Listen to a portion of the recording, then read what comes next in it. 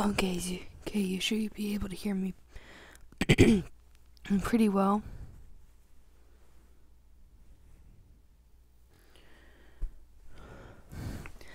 I wrote a new book called New Girl, a Dante X Reader, which is from Aphmau.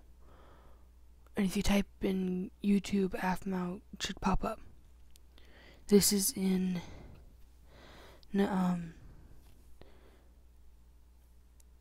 the it's a since it's a reader I'm gonna be using the name Anna. another year, another school. Stupid parents moving every year. I mentally grumbled to myself as I pulled out of the driveway. I love my parents, but I'm gonna move out of their household this year because I can't up and move every year. Uh, oh, hi. Uh, I'm Anna Smith. My parents are traveling scientists, so whenever an exciting, more interesting job pops up, we, er, now they, move. I like this part of Rouen, so I'm moving to, I'm moving out to finally grow some roots and find an actual home, not just a living space. Time to unpack in my dorm. I walk up to the junior dorms and check the schedule the school had sent my parents to print out. So, room 203? Okay. I walked up the stairs until I saw a door labeled 150 through 230. More walking? Why me? I mentally whined as I started counting. They laid it odds on one side, evens the other. Should make it easier. I ran to the end of the hall, beginning to backtrack till I hit my dorm. 211, 209, 207, 205, and 203. Finally. I mentally celebrated that I made it and knocked on the door. Hello? I asked confidently through the door. I believe I'm your roommate. I have a key, so I'm coming in. I unlocked the door and walked in. Laurance? W what are you doing here? One of my best guy friends turned around wearing an expression similar to mine when he heard my voice. He's. Annie?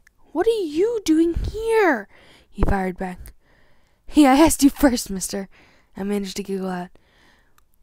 No way, I thought I'd never see you again after I left Natelli Middle. You must have changed your number or something because the one from middle school is no longer in service. He smiled sheepishly. He, yeah, that's because Kawaii Chan got to it.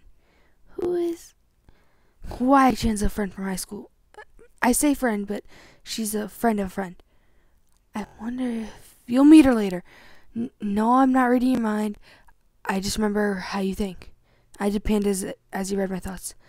I like I like fairy tale. I'm officially scared of Laurance now. anyway, how's Garth, Travis, and Cadenza? Cadenza had always used me as a personal mannequin by bribing me with money, food, etc. I blanked on his answer as I looked at how he described our little, how he decorated our little flat. As I stared, I saw a picture of him, Garth, and a blue headed, blue eyed guy I didn't know. Who's that? I blurted, cutting him off mid sentence while pointing to the picture of the three in their school uniforms. You obviously weren't listening, but that's Dante. Why do you ask? Do you already have a college crush? He teased while poking my arm. I blushed a little but quickly shook it. I don't even know the guy. How can I wait? You said his name was Dante? Laurance nodded, scared but intrigued. I know. I saw him a few times. My parents went to Phoenix to get supplies and dragged me along. He would sit on the curb outside his house on the edge of town and wave at me whenever I was dragged along. I doubt he'll remember me, though.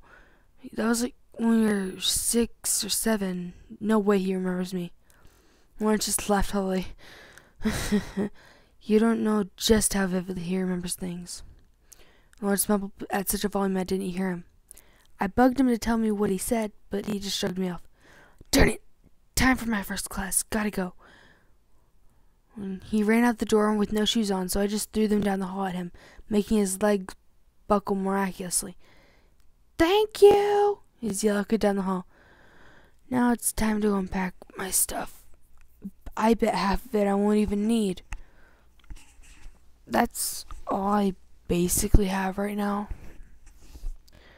And if you keep hearing static, that's because my hand keeps bumping my new mic. I'm used to being able to just rubbing my face while I record. Let me turn up my brightness on my laptop so you can see my face. Oh, other way. Hey. New mic, new headset, yay. The audio should be better. Um I'm gonna show you the cover. Hold up, no, the cover's gonna be the thumbnail.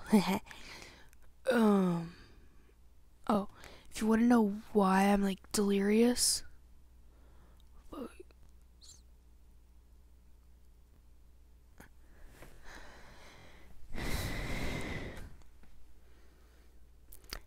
yeah, I can't sleep and it's summer break for me. Amazing.